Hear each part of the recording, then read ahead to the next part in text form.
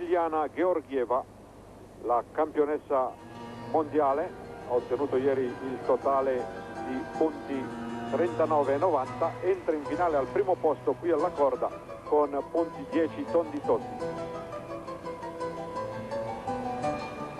Quindi anche la ginnasta che ha le maggiori probabilità di ottenere la medaglia d'oro. La musica da lei impiegata è La notte di Valpurga di